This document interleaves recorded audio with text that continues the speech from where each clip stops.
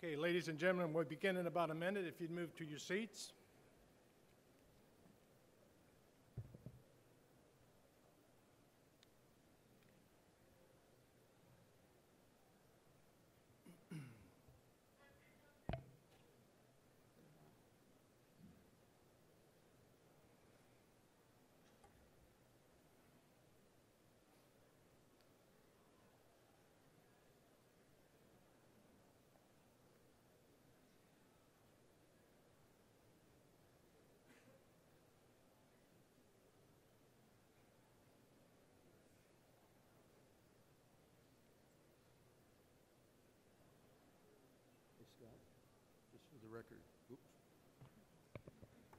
Got lots of seats over on this side.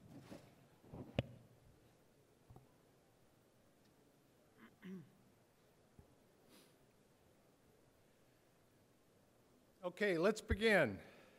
I'd like to welcome you to uh, this afternoon's panel. My name is Bob Wood. I'm the Executive Vice President of AFCEA International, and on behalf of AFCEA International and USNI, I'd like to welcome you to this afternoon's panel where we'll be talking about a question, are we ready to fight and win in a fully contested zone? Uh, it builds certainly on the, what we heard this morning uh, from the service chiefs and their description.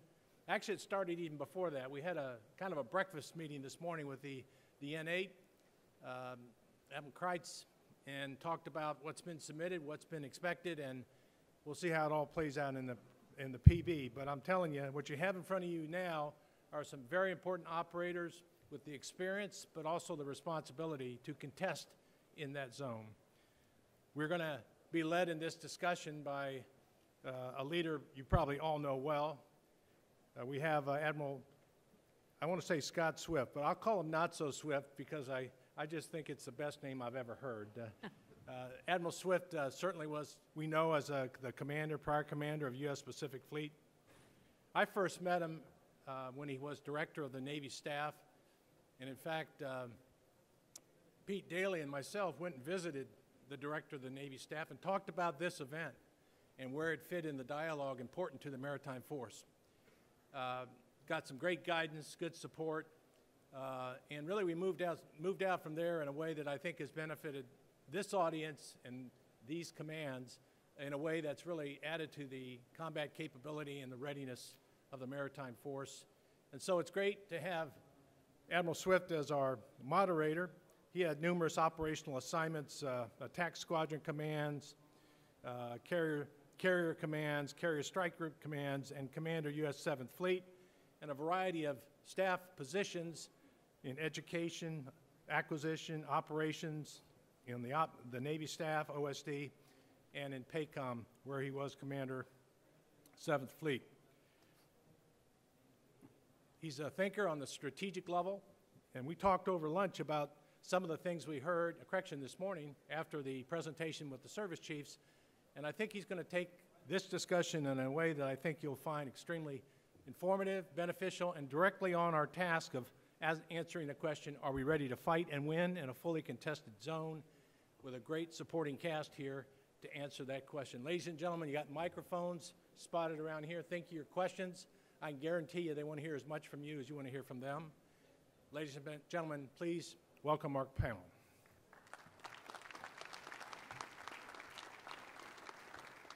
So, uh, thanks for the, uh, the introduction, Bob. I, I- I will say that uh, I do recall that discussion that we had in, in the office there in the, in the Pentagon. And I was thinking back, the last uh, West uh, that I came to, and, uh, and it's extraordinary. I think it was only about two years ago. It's extraordinary to walk around uh, the floor today and see all that's going on. It's almost too much. Uh, you just can't take it all, all in as, uh, as one uh, individual. So what I, I hope uh, that you were able to take in uh, Admiral Moran's panel uh, this morning that talked specifically about readiness. And, and what I'd like to do is, is to separate that discussion from this discussion. Bob al already reminded you uh, about what this panel is about. It's about finding and winning in a fully contested zone. But if, if, if you look beneath that in the, in the description, It talks about how, how do we think, plan, and act in a way that uh, will ensure the success, the ability to, to win, uh, to fight and win and sustain ourselves in that, uh, in that contested zone. And I, I think the key to that, it, both the time that I've spent uh, in the Navy and as uh, the year and a half that I've been out of the Navy, the things that I've been, uh, I've been doing, um, I think it's critically important that we think strategically, uh, we plan operationally, and we act tactically. And what I've found is, is that uh, my experience has been, not just in the military, but in industry and elsewhere, other things that, that I've done, uh, that we, we end up uh, thinking tactically, planning tactically, and acting tactically, and wonder why we can't get ahead uh, in the concepts and the application of those concepts. Well, I'd remind the audience, I'm going to run through introductions here uh, uh, shortly, that we have uh, some strategic thinkers on the panel here. Um, I would invite you to look at your uh, uh, program to read their bios in detail, but I'm going to touch uh, quickly to remind the audience of the unique warfighting experience that's represented on this panel, uh, and the fact that they are living and operating at the operational level. Uh, and so they, that thinking strategic, planning operationally, and acting tactically is in their daily job jar. Uh, so I'm going to, the first two questions, I'm going to ask them now and let you think about them as I run through the, uh, uh, through the, the introductions. And the first one, let's answer the question up front. Uh, are we ready to fight and win in a, in a fully contested zone?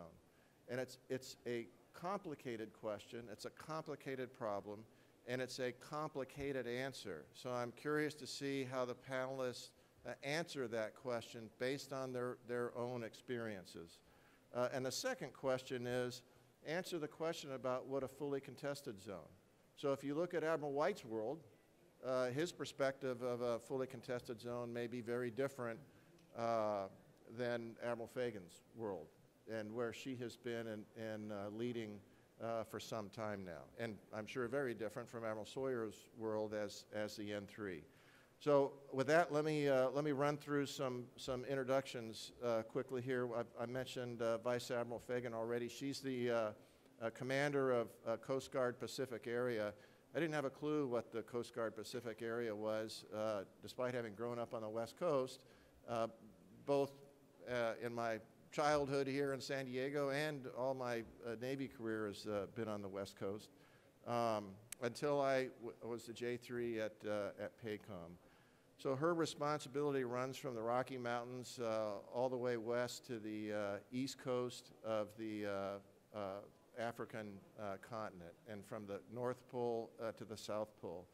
So a, a, a sig- significant area to be concerned about across phase zero and phase two operations. So she and her forces uh, are engaged in a daily basis. She concur- concurrently serves as the commander of uh, Defense Force West and provides Coast Guard mission support to the Department of Defense and combatant commanders. So uh, she may not be multi-hatted, but uh, there are a lot of hats that she answers to of senior people who think that she works for them. She's served on all seven continents, so you talk about diversity of experience uh, from Antarctica uh, to the heart of Africa and from Tokyo to Geneva. Uh, so a, a great uh, uh, span of experience to bring to the panel uh, this morning. Phil Sawyer was an operational commander, um, and now he's living the dream of working in the Pentagon. And at least anybody used to be my, my deputy at Pac Fleet, where I actually ran the fleet. So I'm going to take uh, great pleasure in mercilessly uh, beating him about the head and shoulders throughout the panel uh, today. His first tour in the Pentagon. So if you feel any sympathy for him uh, serving there now, you can go ahead and wipe that out of, uh, out of your thoughts. Career submariner, he served as Task Force uh, 74 and 54, commanding forces both in 7th Fleet and 5th Fleet. Uh, Commander Submarine Force Pacific, Deputy Commander of the Pacific Fleet, most recently uh, the Commander of 7th Fleet, and now is the uh, N35 on the OPNAV staff uh, looking across on behalf of the CNO naval operations uh, around the world. Uh, Lieutenant General Osterman uh, comes with us with a, a wealth of experience. Infantry officers commanded at every level from platoon to a Marine Expeditionary Force. Uh, general officer assignments include Assistant Division uh, Commander for both the 1st and 2nd Marine Division, Commanding General 1st Marine Division forward in Afghanistan, Deputy Chief of Staff Operations for ISAF Joint Command in Afghanistan, Commanding General of MARSOC, Deputy Commanding General of SOCOM, and his current assignment is the Commanding General of uh, 1MEF uh, just up the coast here in Camp Pendleton. So every uh, commander that you see up here on the panel has been involved in some form or fashion in combat operations. Uh, I would suggest uh, none more than Jody, and he brings a wealth of experience of the direct application in a warfighting environment in Afghanistan and Iraq uh, to the concepts that, uh, if you've read the Commandant's uh, planning guidance and the Commandant's intent, brings those lessons into the uh, Pacific theater here. Mentioned TJ. I, I told TJ that his introduction would probably be the longest here just because I think it's wicked cool that he served in USS Missouri um, as an electronics warfare officer and uh, combat information center officer and assistant operations officer as a SWO, and then made the transition to cryptologist. And I think that's extremely important for uh, the cyber warriors that are out there uh, to recognize the experience that they bring as true warfighters. TJ's got a, a leg up of, of uh, his experience there in, uh, in Missouri. Um, he was, uh, became a cryptolo- uh, cryptologic warfare officer in 1992, assigned to Operations Directorate in uh, the National Security Agency, so out of the frying pan and, and into the fire. Operation Fleet Tours include Assistant Cryptologist, Commander, U.S. Naval Forces Central Command, U.S. Fifth, Fifth Fleet, Assistant Chief of Staff for Inst- Information Operations, uh, N39 and 7 Fleet, commanded the Naval Security Group activity in Bahrain and the Navy Information uh, Operations Center. Flag assignments include Deputy Director of uh, Tailored, Operation, Tailored Access Operations and NSA. He's got a fascinating story. He's going to regale us with that experience here today. Uh, Director of Intelligence, J2, uh, U.S. Uh, Pacific Command, Commander Cyber National Mission Force, uh, U.S. Cyber Command, and currently commands the U.S. Fleet Cyber Command, uh, U.S. Uh, 10 Fleet. Um, just an example of the kind of experience that we're getting. And, and to round out this group, uh, Admiral Conn uh, commanded at every level uh, within naval aviation, from the squ- squadron all the way up to the strike group level. Um, he also commanded the Naval Aviation Warfighting Development Center in, in Fallon, Nevada. Uh, Nodic uh, commanded Carrier Strike Group 4, was a director of air warfare, and then brought that experience of funding readiness uh, to his current assignment of uh, commanding uh, Third Fleet and the responsibility that goes with that from certifying forces deploying forward as well as uh, commanding forces going forward. So with those introductions, we'll start at the end, TJ, since you're down there, to this question of are we ready to fight and win in a fully uh, contested zone? And for the audience, we had a, a quick discussion about the first two questions. Really wasn't interested in, in uh, you know, a broad discussion. We could spend the whole time we have here answering that question, but just kind of a snapshot view in answering that question from each one of these leaders. So, TJ? Sir, thank you very much uh, for the very kind words and introduction. I see some uh, friendly faces in the audience, most of them from uh, coalition and partner navies. So everyone else, uh, please just hold your questions till the end. Uh, We're ready. Uh, It's a pretty direct question. I think it's a pretty short answer. Uh, In the cyberspace business, in the space business, uh, which I'm increasingly familiar with, uh, we are in the fight every day. If I was to offer you a fires and maneuver term, I would say that we are danger close and in continuous contact. You can read the headlines as well as I can. I can tell you it's very dynamic, it's very fast-paced. Uh, It is sometimes difficult to get to attribution, uh, but that is the expectation. Uh, The adversary is swift. Um, We have the capacity and capability to be swifter. Uh, I think from a maneuver standpoint and an operational standpoint, uh, we have very good insight uh, because of our partnership with industry and academia, but also across all the services in the intelligence community. I think we are also seeing some progress on the policy front as well. I think that uh, in the last uh, uh, several months, we have seen uh, the expectation uh, for cyber forces, for the DoD, uh, to support and be engaged in something which we call uh, persistent engagement uh, out of U.S. Cyber Command, uh, to be ready, to be present, to be forward, to be postured, to understand what the enemy and the adversary are doing to us, where they are doing it, how they are doing it, uh, and then partnering as appropriate uh, with all sorts of uh, activities below the level of armed conflict uh, to engage.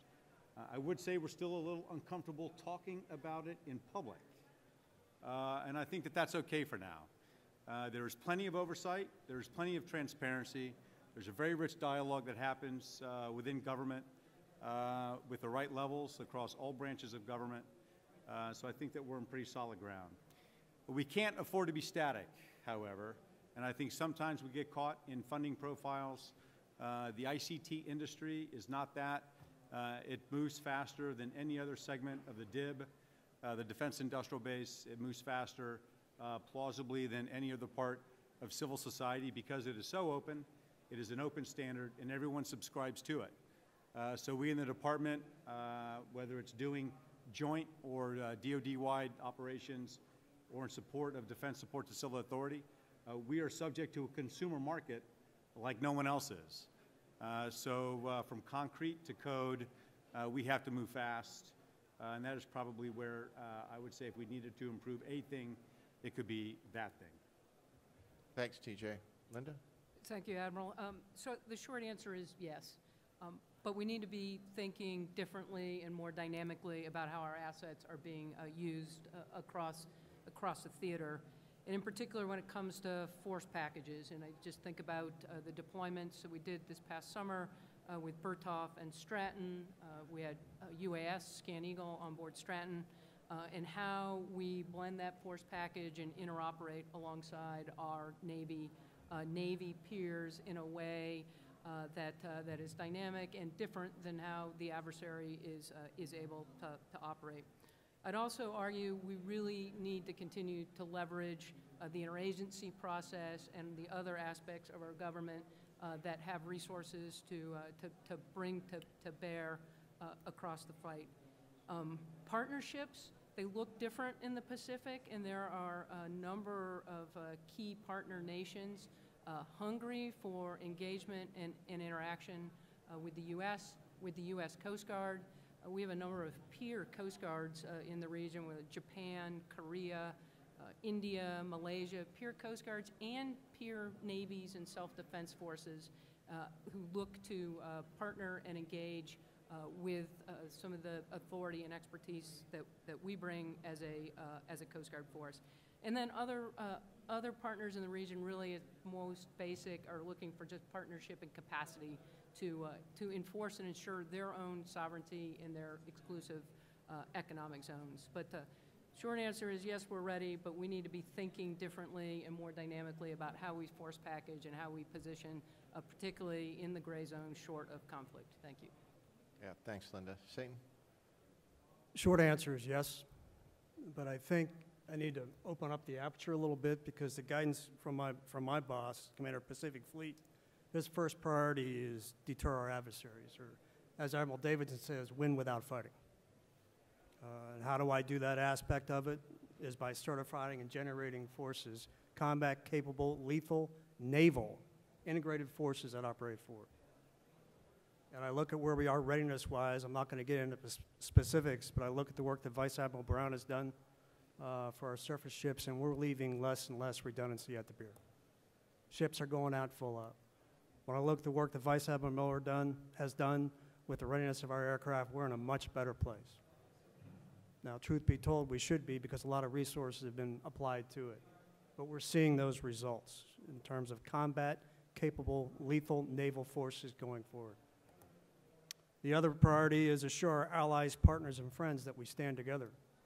If you look at the, the Pacific, it's a big place. From Hawaii to Manila is like flying from New York to LA and back to New York. That's a lot of sea space. And it's going to be working with our coalition, our allies, our partners, and friends. They're going to play a big part in that. And it's also about we can surge all our forces, but we can't surge trust. And we have various exercises. Some are live, virtual, constructive, or synthetic, uh, that we work with our coalition partners so that we understand each other. We understand the capability they can bring to bear, and we're generating that trust out of every one of them.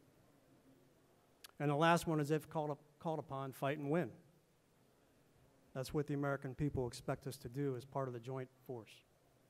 You know, I look back to my days uh, at Nautic and some of the training environments that we were able to create, create there, simulation environments where you had young, trained, disciplined surface warfare officers talking with young, trained, disciplined naval aviators.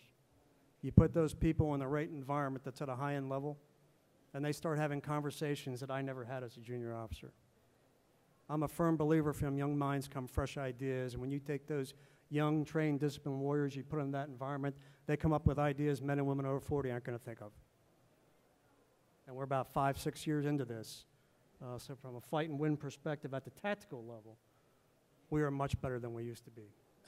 Room to grow, more work to do, but we got some fantastic lieutenants and JGs out there that are doing some good work. I think from a, uh, getting back to the Pacific, and that geography matters in a fully contested environment. We'll get into the definition here shortly. But I guess my view would be when in a multi-domain environment, where ordnance is coming from us in a multi-domain manner, and potentially ordnance coming at us from a multi-domain perspective, that would be my definition of a contested environment. Pers- perspective sometimes is where you sit or where you sat. But to answer the question, yes, we are ready to fight and win tonight. Thanks, Satan. Phil? Yeah, thanks. Um, I do think the very short answer to this is, is yes, we are ready to fight and win. And as the other speakers have uh, kind of articulated, it's manning, training, equipping, uh, and our concepts for how we'll go to, how, how we will go to fight. Uh, the important part, and again, it's been alluded to, is there's a temporal aspect to this. We are ready now, but the other guys are continuing to try to erode away at our advantage. And it's imperative on, on, on us and actually many of the folks out there that we continually stay ahead of that, both qualitatively and uh, to as much as possible uh, a, a quantitative uh, standpoint.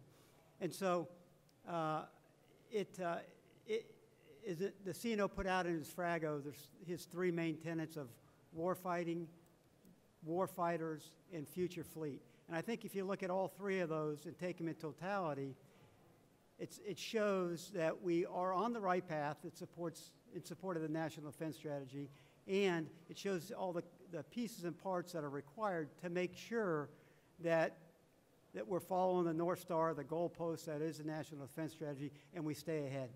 The last part that I would add, uh, and it's part of the warfighters aspect of it, is, uh, is the, the part about making sure that our people uh, not only are taken care of, critically important to the commanders, but also are absolutely best prepared to go do whatever it is our nation's going to ask us to do.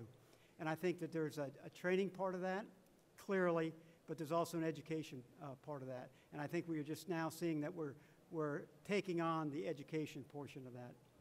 Thank you. Jody? Okay, sir. Uh, first off, I'd like to amend my bio is that I have never served in the Pentagon. So Phil, Phil may, took one for the team here on this last go around. But um, my, the answer for me is uh, yes, ready to fight and win also, uh, without a doubt. You know, the last uh, 18 to 20 years, essentially the Marine Corps has become a second land army because our nation asked us to do that. So fighting alongside the U.S. Army and very terrestrial based in terms of uh, our Afghanistan and Iraq mission sets. Um, I, I have to point out that we have transitioned from that. We are now back to our expeditionary roots, which is, allows us to get after the uh, near-peer fight that uh, the defense planning guidance has uh, talked towards. So, you know, instead of being, um, you know, a second land army that can also go on ships, we're now a naval force that can go ashore when required. And so a very distinct difference in uh, mindset and the way that that's all come about. Uh, that's been further refined with the uh, Commandant's planning guidance for anybody that hasn't read that. That is our way forward, and it's what's going to refine our ability to uh, not only currently win and fight, but also in the future to maintain the decisive edge. Because as Admiral Sawyer mentioned, uh, the enemy gets a vote. They get a chance to uh, get better, and we've got to stay that much better than they are. So uh, with uh, force design changes associated with that, naval integration, uh, for me personally, it's working with Admiral Conn and Third Fleet to be tied at the hip on um, no longer the operational forces of the Marine Corps, but the Fleet Marine Forces, uh, back to our old nomenclature, which defines us as soldiers from the sea, which is exactly what we are in terms of the naval integration aspect. Um, I would say in terms of the uh, readiness to fight and win there, uh, oriented on the multi-domain fight that we'll probably talk about a little bit later. And uh, most importantly, as an expeditionary force, uh, being able to fight and win inside the, uh, the enemy's weapon engagement zone. So we fully expect to be within the range of those weapons that the enemy may bring to bear, uh, but being able to be that contact layer in order to allow the surge activity that's required, but long and short of it is to, uh, to win that complex fight. So back to being our uh, crisis response expeditionary force that's capable of uh, responding immediately uh, against the nation's adversaries.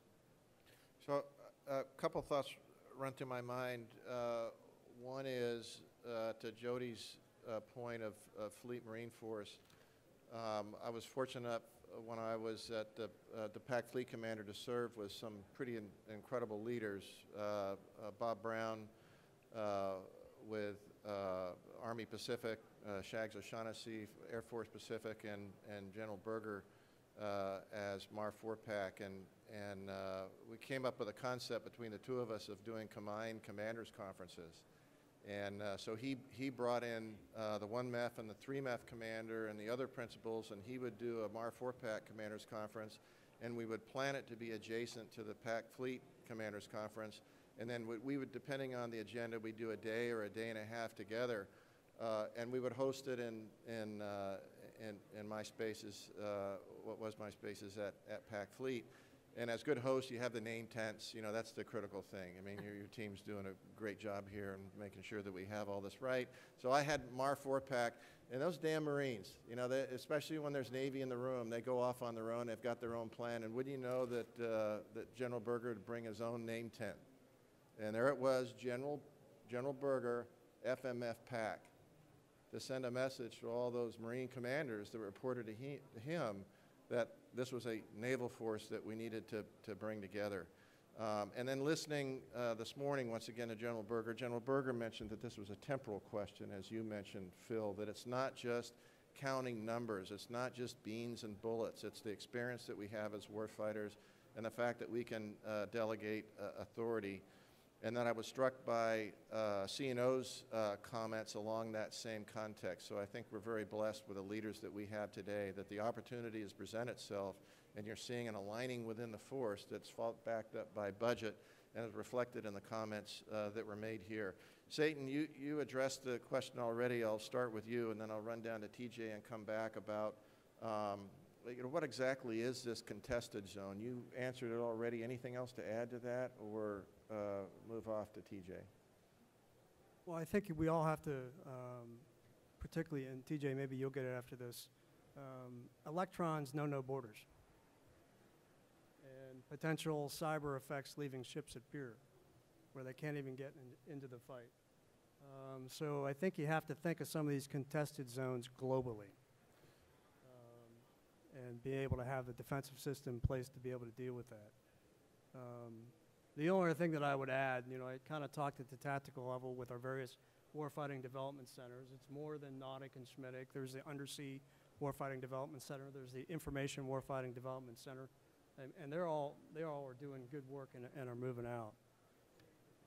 But I also look at what CSG 4 and 15 have done and being able to create a training environment where you can stimulate training from the operational commander down to indi- level, individual level operators. And I think that's very important in a contested environment, particularly in the way we're going to operate, integrated and in some cases interdependent.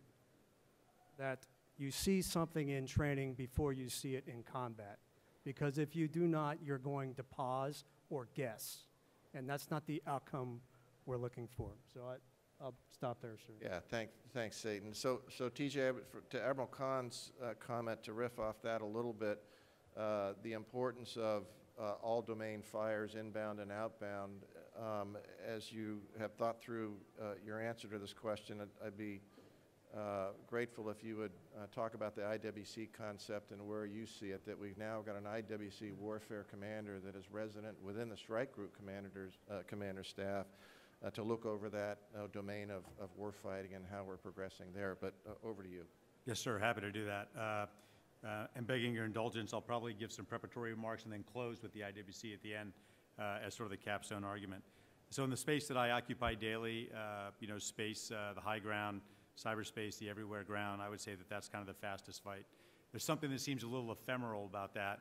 Uh, Satan uh, and the other number of fleet commanders, the Integrated Maritime Force, which is First MEF, Third MEF in the Pacific, you know, they require uh, that we connect and bind the fleet so that they can do effective uh, sustainment, that they can do effective and safe maneuver, that they can do that with confidence uh, from underneath or outside uh, the enemy's time zone uh, or decision space uh, and sensor grid. So, so that's the fight that we are in day in and day out. We don't have the luxury to fight tonight, we think. We're in it today, so we have a lot to learn.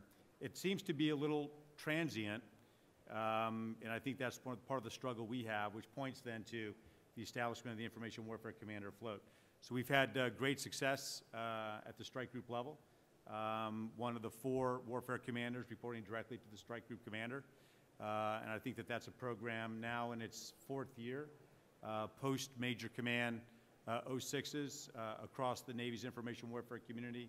Uh, They bring with them 24 to 26 years of experience uh, in not only every facet of information warfare in the Navy, uh, but because a lot of them, uh, by that juncture, will have been fully joint qualified, they're bringing a lot of experience with the joint force, which then gives them some pretty experienced aperture uh, in the all-domain fight.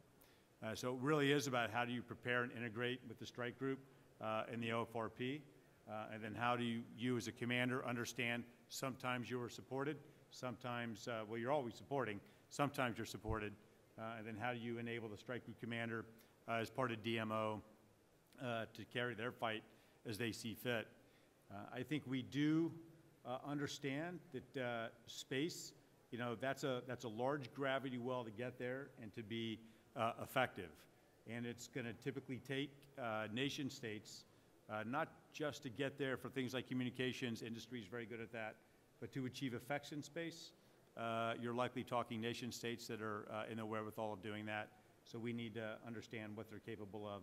Uh, The Information Warfare Commander uh, is to enable the Strike Group Commander to do maneuver as he sees fit for his fight, uh, exercising mission command uh, with the O-plan that uh, carries forward from the number fleet, the maritime component, and the Joint Force Commander. Thanks, TJ. Linda, as you uh, share you- your your view on that uh, contested zone, uh, it- it'd be interesting uh, to hear your thoughts on uh, what collaborative activities that your forces are conducting. I'm thinking of drift line fishing collaborative efforts with the Chinese. So this isn't all about confrontation. Um, It's really a competition, and a competition isn't necessarily a bad thing. Plus, the things that you are doing kinetically uh, in the theater as well. I just noticed a Coast Guard PC in San Diego Harbor the other day, first one I've seen in CONUS. Uh, It seemed they're all deployed over in, in Fifth Fleet and doing great work there. So it might be useful to expand a little bit on what your forces are doing Yep, there as no, well. Yeah, absolutely. And so what I, where I want to go is um, regions where we should be, be looking, um, looking at for a force projection standpoint. And I would go to those regions where we've got someone who's projecting power that challenges international norms and rule of law, right? That, that's really where the, where the interest uh, needs, needs to lie. From a Coast Guard perspective, we, we look beyond the, the defense role that the- our DoD counterparts, want, and we look at it from a security and an economic uh, perspective as we look at what, uh, what are contested, uh, contested zones. So the Eastern Pacific, uh, we did do an offload of the, uh, the Munro did a drug offload just, uh, just three weeks ago. Seventy-nine percent of the drug flow into North America is coming through the Eastern Pacific, uh, you know, off the coast of South America, uh, through the transit zone and into the arrival zone in, um, in Mexico. Cost to the economy, $193 billion in crime and health and safety and productivity loss to those narcotics that are coming towards our shore. And so, you know, TCOs are using that, uh, that vector to spread corruption and, and instability. And I would tell you for the Coast Guard, that is, we, we are conducting that mission now. It is a 365, 24 7. We are out there every day uh, looking to, to interdict and counter that security and economic uh, threat to the, to the United States. Uh, Another area of, uh, of focus, the Arctic, from a contested uh, area. Uh, $3 billion of economic impact to the Alaska seafood industry, 90 billion barrels of undiscovered oil, 30% of the world's natural gas in the Arctic, and estimates are a trillion dollars in uh, rare earth and minerals and uh, zinc, zinc, lead, et cetera. Polar Star, my first unit, and I will add, it was not a new unit when I first reported to it uh, in the, in the mid-'80s, 44 years old and is uh, en route home port uh, from New Zealand as, as we speak. So as we look at the Arctic, the increasingly uh, open water in the Arctic, China's interest, having declared themselves as a near uh, Arctic state, Russia's interest, and as they have uh, built up and increased uh, their, their military presence on their side of the Arctic, uh, the Polar Security Cutter then becomes critical to establishing on, on the water, uh, you know, presence in, in our uh, claims to the Arctic and our, ensuring our own uh, national uh, sovereignty. And then uh, to the Admiral's question with regard, you know, so collaboration, that is, that is one of the things that the U.S. Coast Guard does exceptionally well. There is a forum, it's called the North Pacific Coast Guard Forum. There's a comparable one in the North Atlantic. North Pacific Coast Guard Forum is comprised of Russia, China, Japan, Korea, Canada, and the United States. As a Coast Guard, we, we have and continue to have a dialogue uh, between the U.S. Coast Guard and China Coast Guard, U.S. Coast Guard and Russia Border Guard, talking about shared interests, search and rescue, uh, maritime uh, boundary challenges uh, in, in the Bering, and particularly with China, the, the challenge of uh, illegal and unregulated uh, fishing, which is rampant in the Pacific, and there are a number, a number of, of countries who are um, uh, particularly uh, guilty, uh, guilty of that. But so having that collaborative uh, system and ability to, uh, to, to, to talk through the problem set has been, uh, been, been really key uh, and, and important to us. So, um, of finally, just again, those, those areas where we can offer a, uh, a counterpoint. And then, you know, in some of the smaller Pacific Island nations, and this, this, as I said earlier, this is about then capacity and uh, expertise and to, to ensure that they're able to enforce their own uh, sovereignty in their exclusive economic zones for many of these small countries. You know, this is, it's kind of an existential reality for them. The fish stocks and fish proteins really uh, provide security uh, for, uh, for, for each of these, these nations.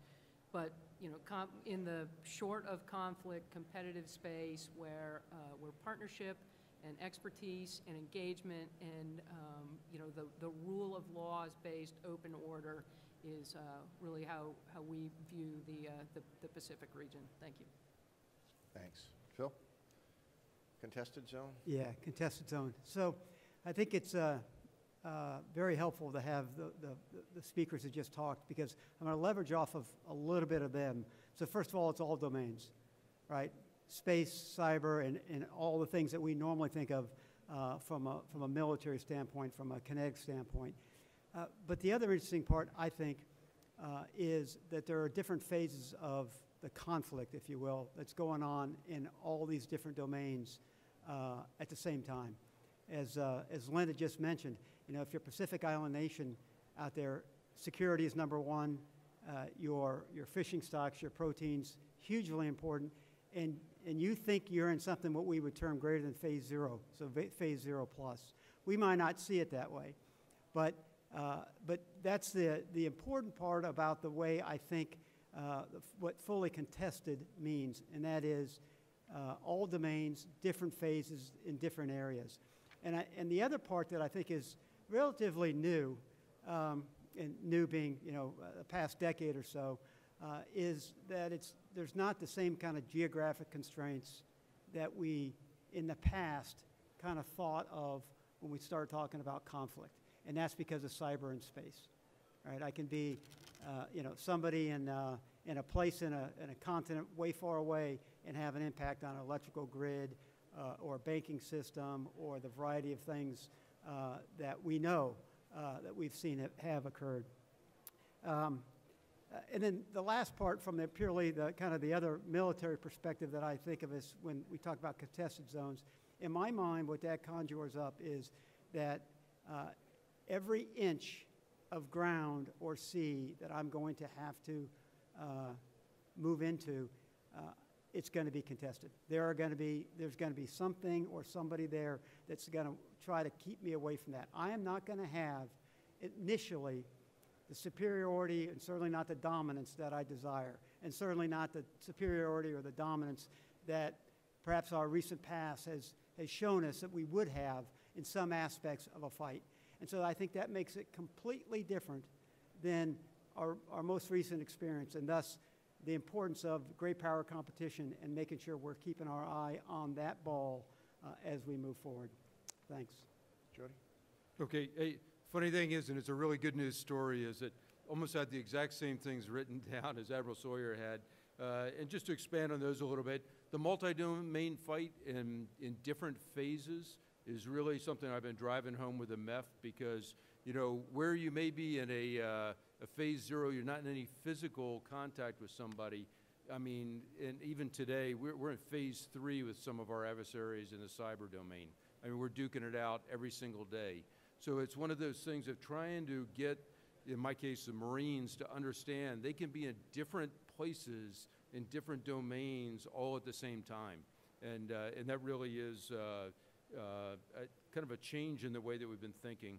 And to the point about the uh, global aspect, if you look at the defense planning guidance and the two plus three aspect of it, long and short of it is if we get, uh, you know, into a conflict type situation associated with Russia or China, uh, you're liable to have somebody else there that's going to try and be an opportunist on the backside of that. So as a Marine Corps, we're looking at uh, not only having conflict, but then also simultaneous competition elsewhere as somebody tries to take advantage of that. Um, to the, uh, to the point about uh, kind of a supremacy, superiority aspect of it, as Admiral Sawyer touched on, you know, I, I really sincerely believe with our, with our near-peer adversaries, they'll have roughly the same capacity, uh, roughly the same uh, capability, roughly the same lethality as we will. So the only thing that we're going to have as a decisive advantage is going to be that ability to get inside the OODA loop, and this was mentioned in an earlier uh, briefing as well, but how quickly we can uh, get through that decision-making cycle because it feeds into that temporal nature of what this contested zone is all about. And frankly, you got to be acting quicker and be uh, more, uh, more capable in working in that environment to achieve superiority when you need it because, again, as mentioned, we won't have supremacy like we've had for most of the history of our nation, frankly. So couple of thoughts as I've been uh, listening to the panelists, uh, and I think Admiral Conn mentioned this, that it's important to, uh, to think globally.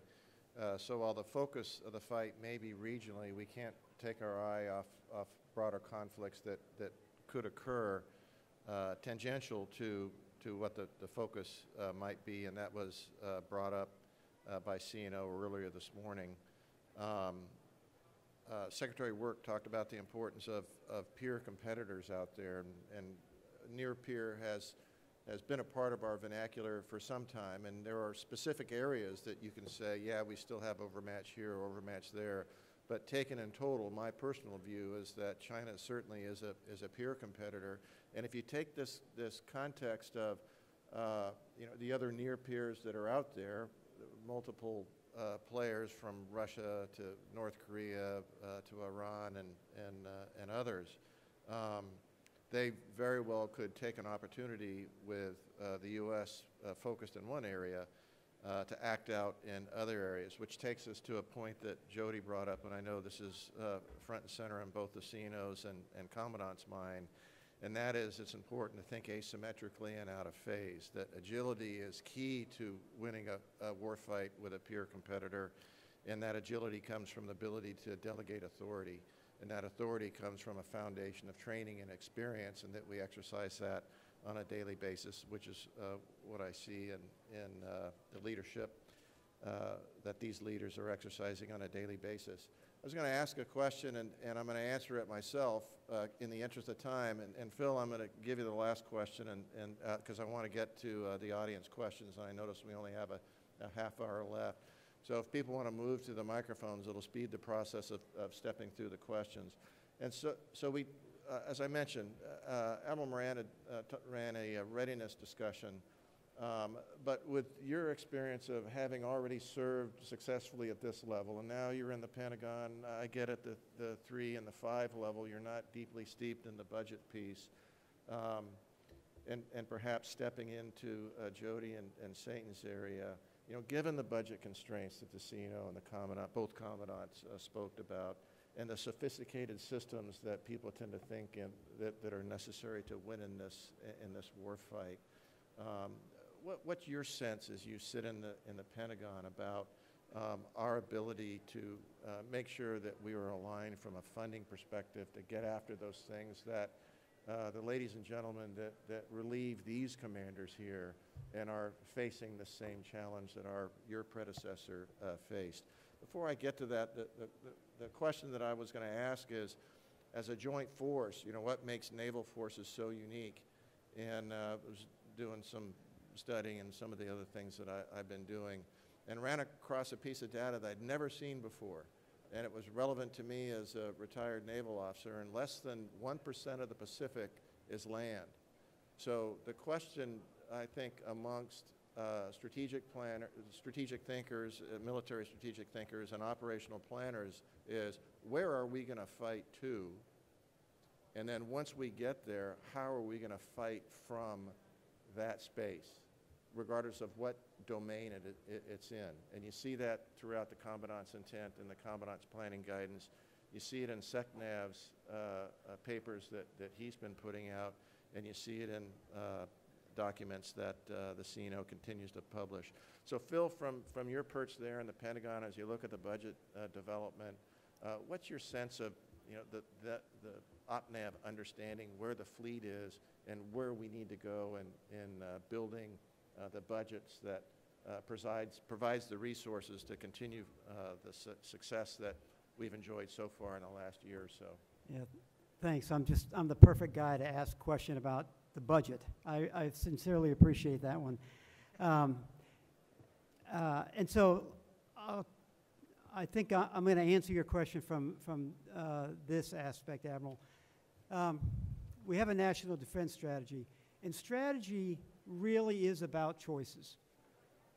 You have to be able to prioritize, and you have to figure out what is most important, and then just kind of work your way down. And though you may love something that, that ends up below the line, you have to make hard choices. And that means those things don't make the final cut, if you will. And so uh, it's, I think it's critically important that we have a North Star, the, the goalpost to aim for. And that is our national defense strategy and focuses on our long-term strategic, strategic competitor being the PRC. And so with that as kind of, uh, you know, where we're headed, it, it helps make, helps the Pentagon uh, with support by all the fleets and everyone else that uh, is here to help on that. Um, it, it helps keep us grounded because we keep looking back to, okay, that's, that's where we're headed. You know, I heard the story, there's, uh, uh there's, a, uh, there's a plane that's flying and it gets a thunderstorm right? And so the pilot diverts.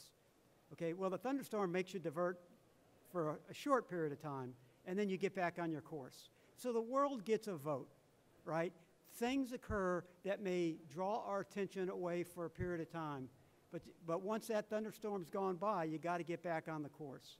And so, uh, strategy requires choices, and, uh, and, I, and I feel very confident, uh, knowing what I do know in the short period of time I've been in the Pentagon, that, um, that the teams there, and it's a, it is a naval team, it's uh, the Marine Corps and the Navy are taking hard looks at, across the board of what we, what we need for the future fleet and are providing the right amount of resources to that. Now, there's always room for more, right? Uh, we never have enough. Uh, but that said, given what we've got, we are making very, very tough choices, and I think uh, in the right direction. Thanks for that, Phil. All right, let's get to, uh, to questions. If, if uh, someone has a question, have some courage and step up uh, to the mic. And I would uh, just remind, we've got a wealth of diverse experience up here in the panelists. Uh, so uh, fire away. Yes, sir.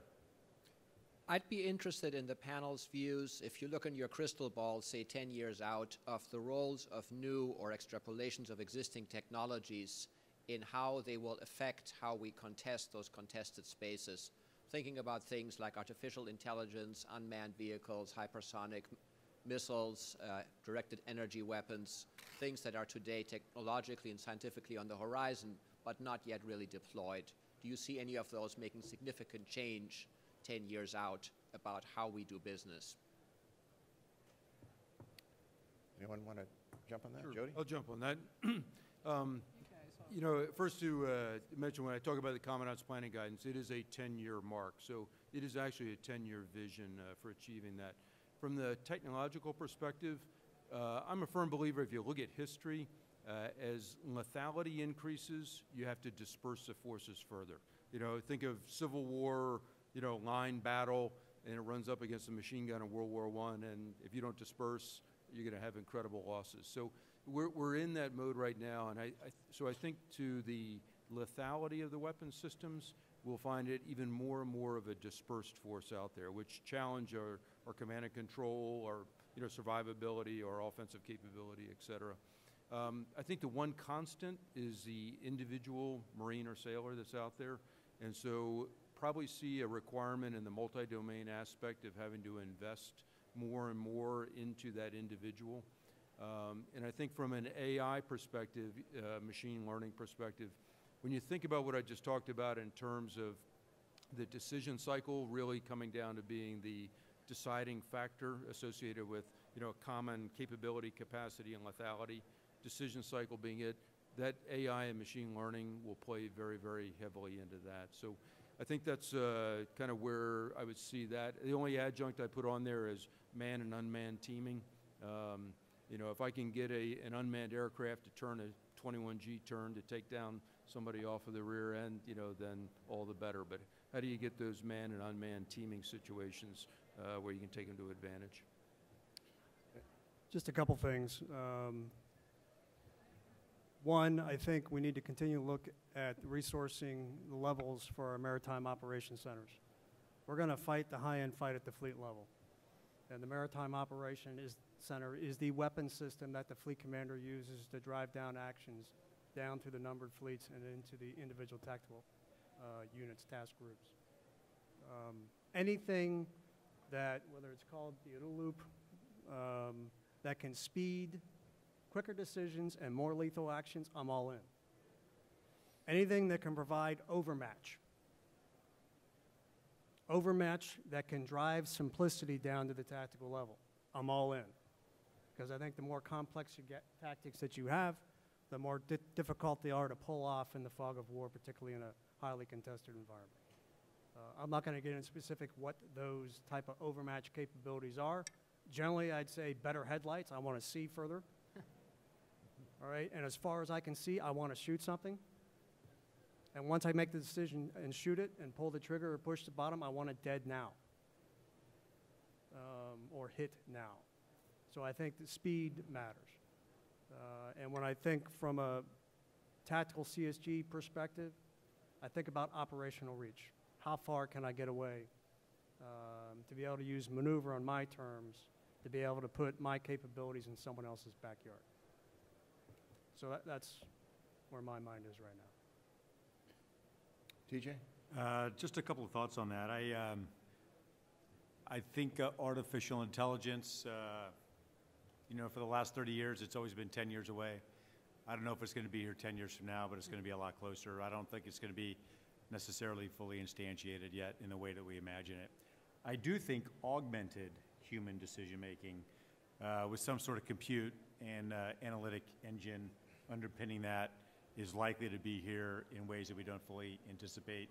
And we ought to get ahead of that and thinking about, uh, in the context of a more dispersed force, uh, and Satan, with some of your requirements to have better headlights, to have better lethal decisions, um, how we're going to empower uh, a force which might have to operate in a disconnected fashion or in isolation so that they can do the best decision-making possible.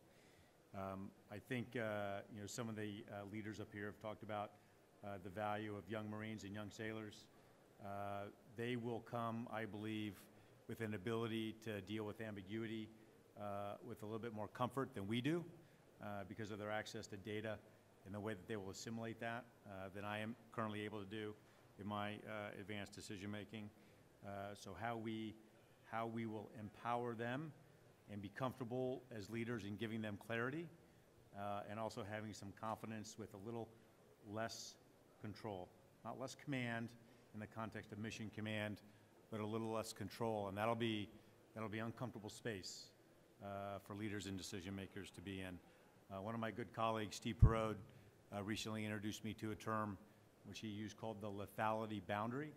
Uh, And that's just basically where we, as leaders, will think we will be with uh, unmanned autonomous systems, uh, not just sensor platforms, but also armed, uh, and where we will insist, uh, as society and as professional warfighters, that the human decision maker is in the loop.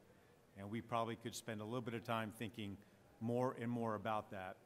And then last, uh, not to go on too long, we do not currently have a good vision of just how much bandwidth we will require to do autonomous, uh, over the leading edge warfighting. It's going to require a hell of a lot and a lot more than we're thinking about now. Bob?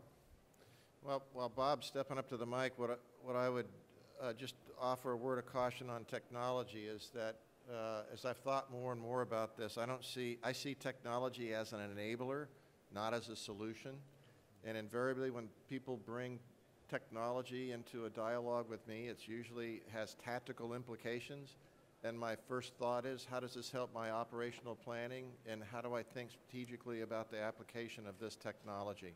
So as, as you've heard these commanders discuss, uh, oftentimes it's a horizontal discussion, and I think it's really important to turn it into a vertical discussion about all domains and at the strategic, operational, and tactical level. But Bob? Uh, Perfect segue, sir. Uh, I wanted to talk in, about space, uh, the contested domain of space, and I know that isn't necessarily the component that we see up here, but it's a requirement in that overmatch, it's a requirement in seeing over the horizon, it's a requirement in the operational agility of the maritime force. And I think of the Coast Guard, I mean, looking from where you go, from where you go, I mean, it's got to be something you worry about or think about. So it is contested, it went away today, just heard, it's all gone, we don't have, we don't dominate there anymore. What does it mean to really lose dominance in space? What do you think about when you add space into your worries? So uh, the space world is moving fast. Uh, We actually have a space commander uh, uh, up here. TJ, you want to talk a little bit about where we are in Yes, that sir. domain from a Navy perspective, and if you want to expand and to join as well? So as uh, the naval component to uh, U.S. Space Command, the nation's newest uh, combatant command, uh, I can tell you I am increasingly impressed with what they can do in space, a lot of which uh, I wasn't really aware of. Uh, The Navy role in that is largely as a, uh, uh, operate some buses that are on orbit to provide uh, bandwidth and communications capability to not only the Navy Maritime Force, but also the Joint Force. But as we become better integrated with the role in space and with what General Raymond is doing, It is impressive with what U.S. capabilities are and allied capabilities are. Again, uh, the full spectrum of capabilities, uh, which you have to be pretty careful in talking about that. Uh, But what's not impressive, unfortunately, or I guess is equally impressive, is what other nations are able to do as well. Uh, It is definitely, uh, it is definitely contested space. Um, So we are thinking hard about uh, what a new combatant command means what a new uniform service means, what the demand for us will be. Uh, We have uh, a professional space cadre in the U.S. Navy. Uh, We probably will need to strengthen that and make it more resilient. I would be loath uh, to lose those billets and bodies and capabilities to another service, but, uh, but it's, it's, it is yet as undecided. I do think though, sir, um, in a distributed force for distributed maritime operations to deliver what Satan requires for the strike group level, it is going to begin uh, in space and it's going to be, uh, first mover advantage is, uh, is going to be key. Thanks, TJ. Uh, Any, Bus, Good afternoon, uh, Lieutenant Commander Andrew Poulin uh, here in San Diego. Uh, my question, uh, I'd like to dig a little bit deeper in the role of allies and partners. I wonder if you could uh, speak to which allies and partners you see as critical to the fight, and more importantly, what steps are we taking uh, to kind of uh, ensure that high level of interoperability? So I'll, I'll go ahead and start. Um, This year is a RIMPAC year, Rim of the Pacific exercise. We have uh, up to 29 partner nations participating. 1971, there were three. We have 29 partner nations uh, ready to par- participate this summer. That's over 40 ships, over 200 aircraft, about 25,000 people.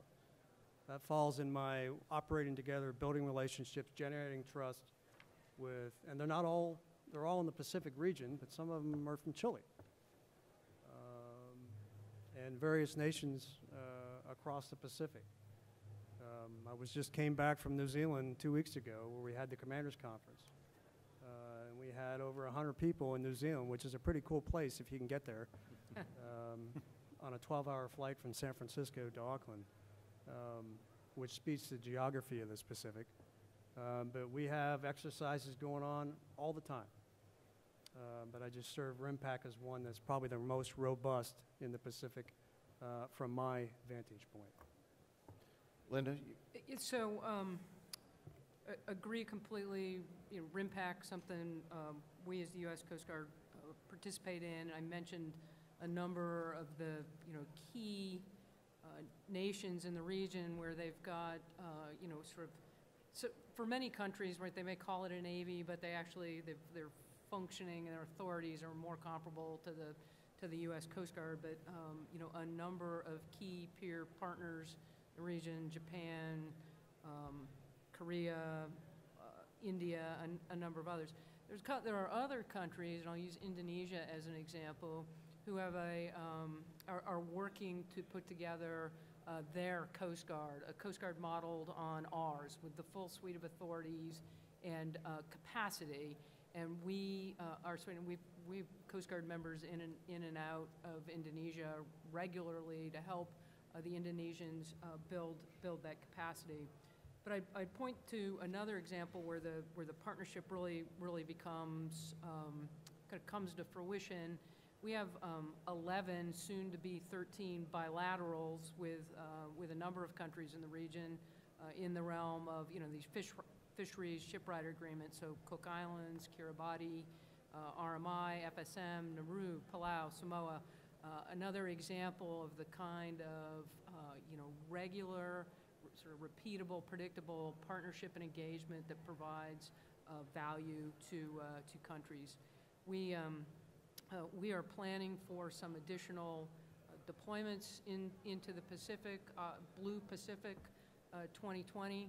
And one of the deployments will use our new fast response cutters and uh, the, some 225-foot buoy tenders to, to provide some, some capacity to the small island and partner uh, nations in a region uh, in a way that, um, you know, is, is more uh, predictable. And I'm, I'm often reminded by, by my field commander in Hawaii that, you know, in the region, a little bit that's enduring is much more significant than one big act, and then you don't come back for, for five or six years. And so we're, we're working on, um, you know, very targeted where we can make sure we are partnering uh, with, with the right, uh, you know, right, right set of uh, part, partner nations. Thank you.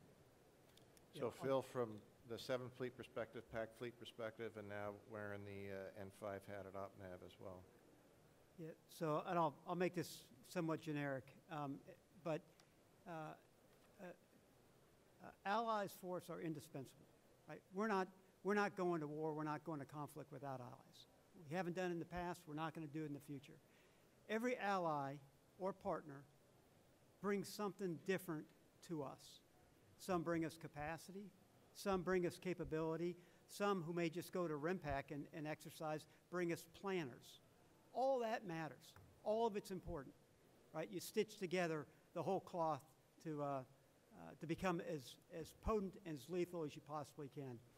Uh, and, and I think that more and more from our, I'll say, our, our long-term allies, we are, we're kind of getting past the point of being interoperable and moving to the idea of being interchangeable. And you will see this in the, in the, in the very near future when you see one of our strike groups operating with another uh, Navy ship for uh, not only COMPTUEX, not only the training period, but throughout the deployment, right? So interoperable, that, in my mind, that's now, do I have the right communication gear that talks to the other communication gear, and, uh, and do, I, do I have the, the same pubs and crypto and all that stuff? But interchangeable uh, is really where we want to get. And we are, we are on that path to get there uh, with many of our allies. Yes, sir. retired Sergeant Major, I'd like to talk about the nine dash line. And I realize that the Chinese Coast Guard is escorting their fishing boats along inside the nine dash line of uh, Malaysia, Vietnam, uh, the Philippines. And uh, I'd like to know what the Coast Guard is going to do, if they are going to do anything. And I'd like to know about what the Navy's role is inside the nine, nine dash line where Taiwan is located, or any explanation you can give us about the nine dash line. Let Well, let I don't know who wants to take this on. I know, I know Lieutenant General Osterman does not need to do this, but uh, the Coast Guard or one of the other admirals might be able to address the nine dash line. I defer to him. The, uh, so Jody, any uh, comments for, for the audience? The, uh, what, what I'd like to do is, is uh, recognize, first of all, that, that uh, the leaders up here aren't going to make a decision about what they do with Oh. respect to China. I But totally me- understand that. Let me answer the, uh, ask the, uh, the panelists to, to uh, answer the question in this way, and, and Linda, I would ask you to go first. First of all, uh, with your extensive background of understanding law of the sea,